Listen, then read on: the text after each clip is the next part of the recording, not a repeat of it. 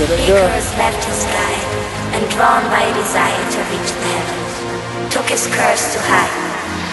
The burning heat of the nearby sun softened the scented wax that fastened the wings and the wax melted.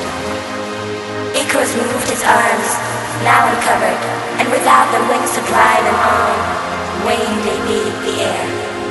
The sea received Icarus, and from him took its name.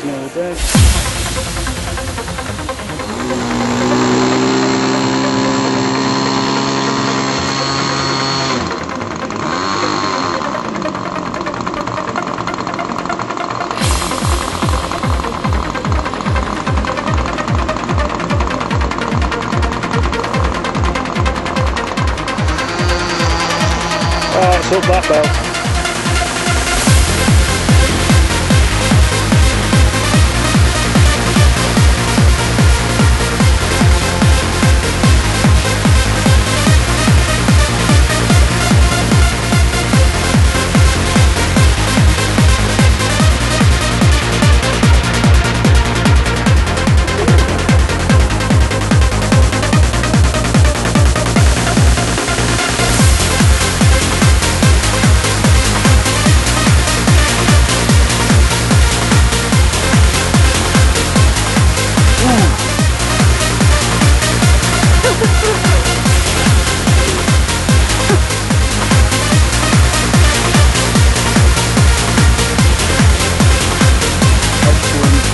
Nice one, Dad. Doing well, man.